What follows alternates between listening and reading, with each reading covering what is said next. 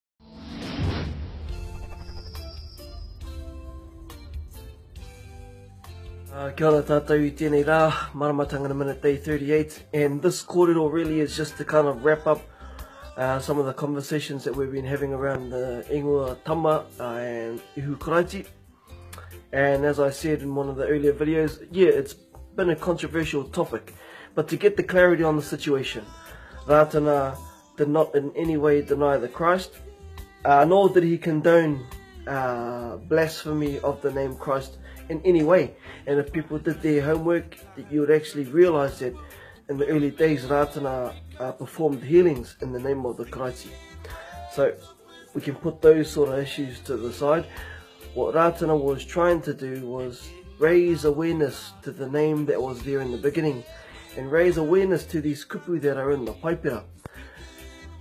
If Uhu himself said to baptize the nations in the name of the Father and the Son and the Holy Spirit, Um, he must have said that for a reason. So, Ratana's intention was to raise awareness around this name. But for nearly 100 years, yeah, well, close to that, um, we've not been able to settle on it um, as a collective. And there's been other things in terms of the name Māwai and how that gets confused. Um, but Ratana offered this as a solution. If we can't agree on the name Tama, if we can't agree on the name Ihukaraiti, if we can't agree on the name Māwai, um, then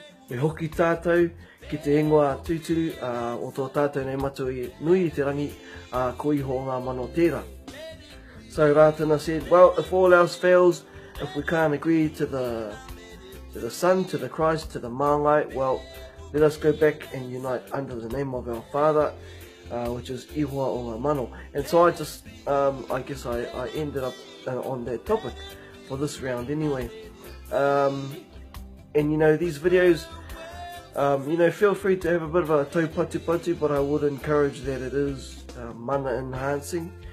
Um, any sort of kōrero that enables awareness and allows us to learn a bit more about our maramatanga than we did yesterday, uh, are more for it, eh? So, yeah, ka pai if you want to have a bit of a taupati pati, get cheeky to each other. Um, but if it's a process that enables us to raise our awareness, then yeah,